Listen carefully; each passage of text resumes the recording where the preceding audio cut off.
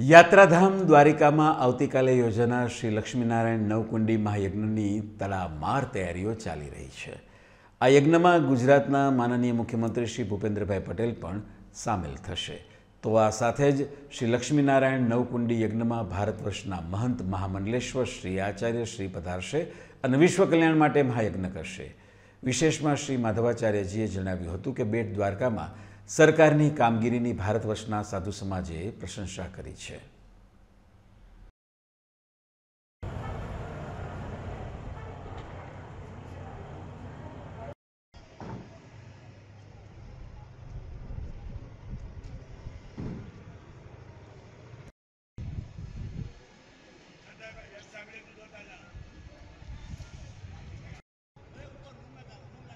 हमारे यहाँ जो यज्ञ हो रहा है लक्ष्मी नारायण महायज्ञ बनने जा रहा है।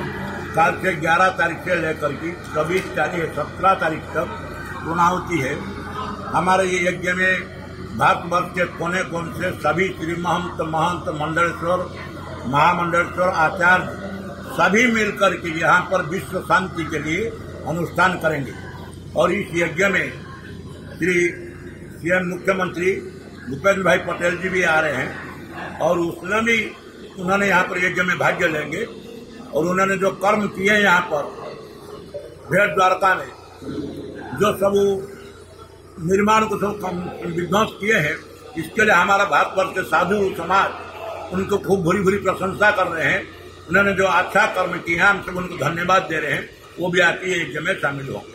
तैयारी अभी पूर्ण होने जा रहा है और लगभग आज शाम तक सभी पूरा हो जाएगा। और कल सभी संत महंत यहाँ पर पहुँच जाएँगे।